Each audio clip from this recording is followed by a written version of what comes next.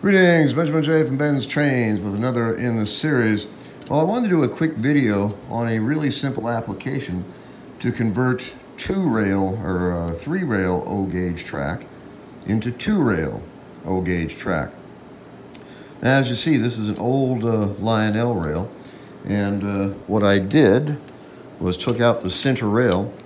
Actually, I removed the center rail and the outside rail and then just transfer the center rail with its insulators to the outside rail, as you see. So this rail is now independent from the uh, ties and the other rail. So you have essentially two rail track. Now, you apply positive here, negative here, however you want to say it, and uh, you can run two rail uh, O gauge on converted three rail track. It's really simple to do this.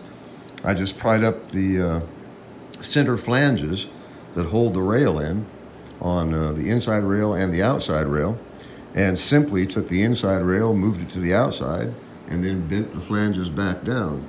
And you can see the insulators.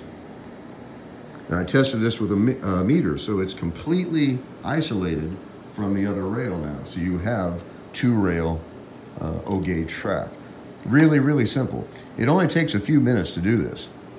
You could do an entire layout in a matter of probably an hour or so, maybe a bit longer, depending on how big the layout is.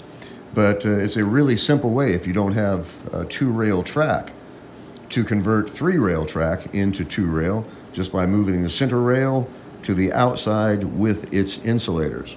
So in any case, I just want to do a quick video on this. It's simple, it's really, really quick. Best of all, it works. And uh, an old piece of three rail track has been converted to a piece of O-gauge two-rail track. It works, works absolutely perfectly. So just a quick video. As always, if you have any questions, feel free to drop me an email, benztrainz at gmail.com. And as always, thank you for watching.